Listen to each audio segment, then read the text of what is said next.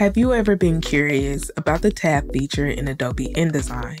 Well, you've come to the right place. I'm Ashley Harrell for Envato Tuts Plus, and I'm going to teach you all about tabs.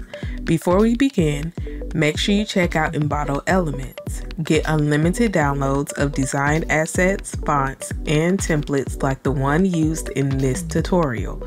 Subscribe now with the link in the description. First, I will give you a quick overview of the tabs panel. To locate the tabs panel, click on type and go to tabs. Here you will see that we have four options. We have left justified, center justified, right justified, and align to decimal. From there, we have the X location field, the leader field, the align on field and then we also have some additional options in this hamburger menu you can clear all delete tabs repeat tabs and reset indents after that, we have the magnet icon where it automatically adjusts the width to your text frame. So if you click on a text frame and click the magnet icon, it will automatically adjust itself. But in this case, it didn't do it since it's already it was already adjusted to that point. But I clicked on this frame above and clicked the magnet icon and it snapped right back to the frame. Here I have some information about this here pug and I want to organize it a bit better because right now it just looks really jumbled up.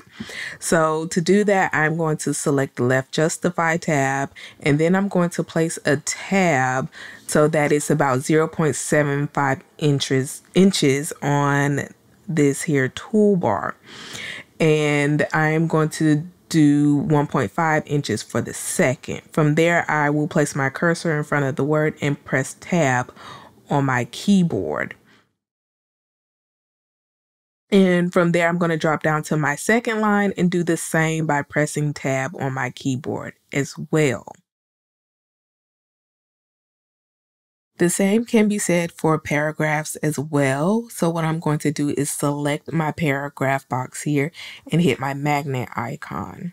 From there, I am going to place a tab that is about 0.25 inches and I'm going to place my cursor in front of the paragraph and click and also click tab on my keyboard. Now I want to create a dotted tab. This is very similar to a table of contents. To do that, I'm going to select my box here and I am going to place my tab where I would like my words to start. I'm going to move it to about 1.5 inches.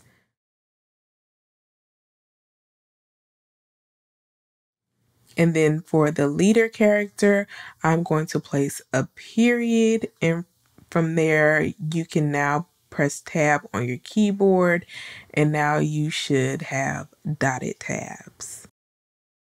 Next, I will show you how to use the align to decimal feature. I have some email addresses and I want to align them by the at symbol. To do that, I'm going to select align to decimal and then I'm going to place my tab where I would like to see the at symbol placed and then align on should automatically populate the at symbol or you may have to type it in.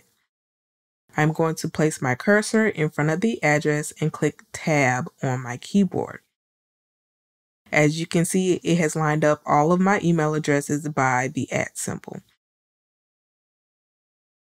You can also delete tabs by simply dragging the tab off of the small little toolbar at the top.